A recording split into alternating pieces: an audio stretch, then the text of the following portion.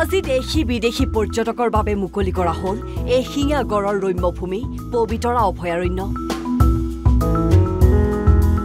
অভয়াৰণ্যখন ফিটা কাটি মুকলি কৰিলে পৰিৱেশ আৰু বন মন্ত্ৰী চন্দ্ৰমোহন পাটোৱাৰীয়ে।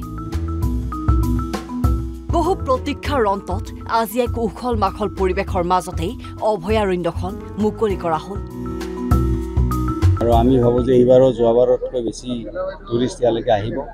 মই আমাৰ এই অঞ্চলৰ ৰাইজ সকলোকে মই ধন্যবাদ দিছোঁ যে এই অভয়াৰণ্যখন পবিতৰা অভয়াৰণ্যখন তেখেতসকলে ভালকৈ ৰাখিছে আৰু ইয়াত কোনো টুৰিষ্টে এতিয়ালৈকে কোনো কমপ্লেইন মানুহৰ পৰা পোৱা নাই।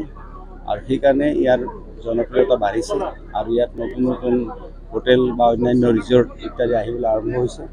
গতিকে আমি আগন্তুক দিনত আমি আশা ৰাখিম যে ৰাইজৰ পৰা সেই সমান সহযোগ যাতে আমি পাওঁ।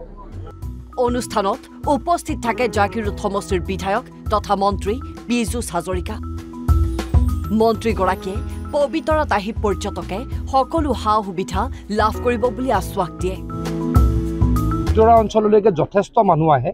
কেইবা লাখো পাৰ হ'ব কাৰণ সকলোৱে পবিতৰা অভয়াৰণ্যত নোসোমায় কিন্তু আমাৰ চাৰিওফালে পিকনিক স্পট হিচাপে পবিতৰা বা মায়ং অঞ্চলটো অঞ্চলটো গঢ় লৈ উঠিছে। ইয়ালৈকে পৰ্যটকৰ আগমন ঘটে আমি ৰাস্তা পথো বনাইছোঁ। টুৰিষ্ট ফ্ৰেণ্ডলি এটা পৰিৱেশ আমাৰ পবিতৰা বা মায়ঙৰ ৰাইজে ক্ৰিয়েট কৰিছেই আৰু ক্ৰিয়েট কৰোঁ।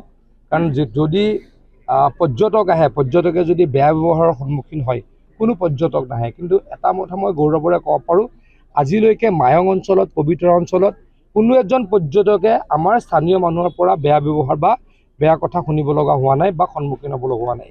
আৰু আমি চিৰিয়াছ হৈ থাকিম যাতে পবিতৰাক আমি আৰু বিশ্বৰ মজিয়ালৈকে লৈ যাব পাৰোঁ পবিতৰাৰ স্থিতি যাতে আমি সবল কৰিব পাৰোঁ আৰু পবিতৰাখনক যাতে বহুল প্ৰচাৰিত কৰিব পাৰোঁ।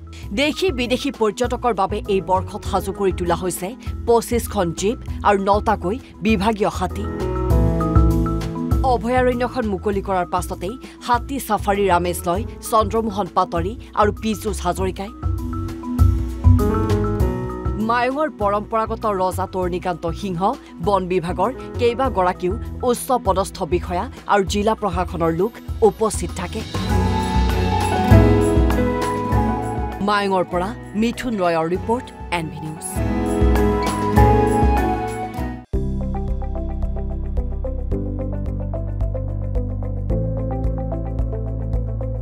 N B news সহজ সৰল ভাষাত নৱভাৰতৰ কথা।